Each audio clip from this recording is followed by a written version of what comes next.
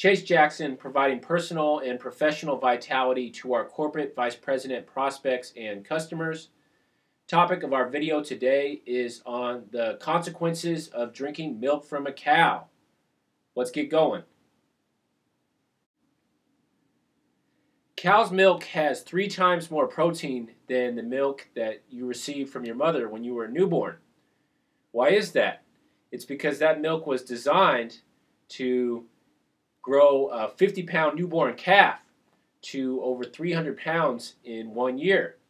It was not designed for us as humans, and there are no scientific benefits for us in terms of our body in drinking milk, only negatives. Also, cows today are producing 25 times more milk than they did 50 years ago. And that is because of all the different steroids and chemicals and all kinds of different stuff that they are fed. So who knows what's really in that stuff that we drink from the cow. But don't drink milk.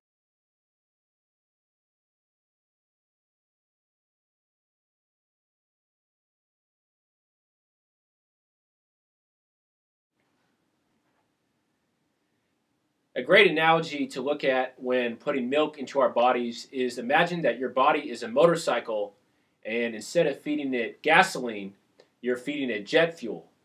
And the jet fuel that you put into your motorcycle is not going to make your motorcycle go super fast or run for a longer time. It's going to make it break down. Putting jet fuel into your motorcycle. What have we learned so far we as human beings are our body is not designed to ingest milk from a 1500 pound cow. What else have we learned? Milk provides little to no nutritional health benefits to us human beings. It only provides benefits to a calf. Imagine that. No benefits not designed for us.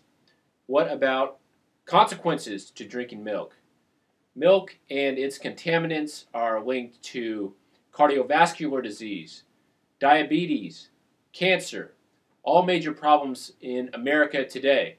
Got milk? Hell no. Clever business and marketing strategy of the day is by the dairy industry when they put out the idea that 2% milk is a lot healthier for us than whole milk. Er, not true. 2% milk is actually, what does it say when we hear 2%? It's that 2% of this milk's calories come from fat. That's not true. Actually, 35 to 40% of the calories in that milk that you drink of 2% come from fat.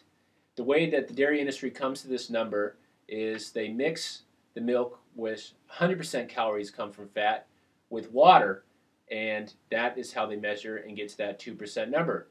Imagine mixing a stick of butter, which is 100% calories from fat, with your 8 ounce glass of water, and then calling that 2%. Uh, very misleading, very beneficial to their marketing plan and pocketbook, and very consequential to our health.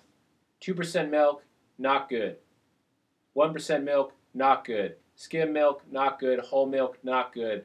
Milk from a cow, not good.